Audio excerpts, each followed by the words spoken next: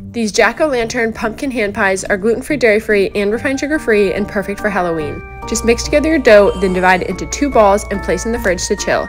Next, make the pumpkin filling, then remove the dough from the fridge, cut out your pumpkins, and cut out eyes and a smile on half of the pumpkins. Top with the pumpkin filling, then assemble your hand pies, crimp the edges, and bake in the oven. Once they're cooled, dig in and enjoy.